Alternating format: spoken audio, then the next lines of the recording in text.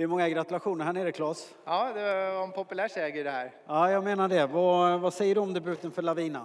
Ja, men jag tyckte hon eh, gjorde det jättebra hon har varit lite valpig hittills i träningen och, och haft lite svårt att veta hur hon ska bete sig. Men eh, idag tyckte jag det var det bästa hon har skött sig hittills. Ja, hur var hon i loppet då? Ja, men hon är lite orutinerad än så länge. Lite valpig, springer och vinglar lite grann och tar i vissa bitar och tar i inte vissa bitar. Och, ja, det är sånt som kommer komma med loppen. När kände du att du hade koll på, koll på läget? Ja, men när Örjan gick ner i rygg på, på Oskar här i sista sväng och hon fick fritt fram liksom, då kändes det som att det bet väldigt bra. Ja, kul.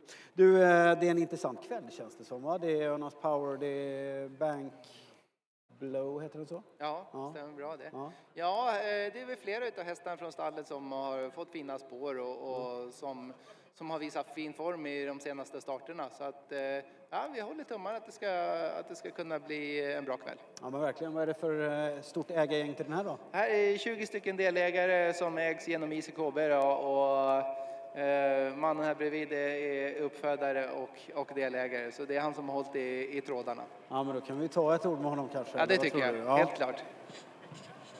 Tack. Om du...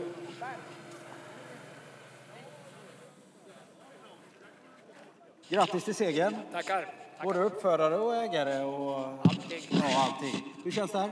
Mycket bra. Mycket bra. Ja. Tre starthästar i år och alla tre har vunnit. Ja, men jag menar det. Då är hästägandet härligt. Då är, det ett, då är, det, är man glad att vara hästägare. Hur bra blir Lavina då? Ja, jag tror hon blir- kommer att bli riktigt bra. Hon har väl ruggigt lätt för sig, men hon har ju varit slängig sådär. Men nu, är det, nu går det framåt. Ja, nu får du snabbare ut så du får vara med på segerfotot. Stort grattis säger vi.